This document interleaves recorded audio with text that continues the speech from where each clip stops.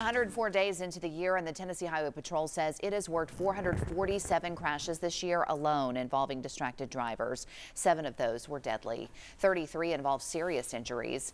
During Distracted Driving Awareness Month, THP is urging everyone to put down their phones while they drive and reminding everyone that there is a hands-free law in Tennessee. Speaking of staying safe,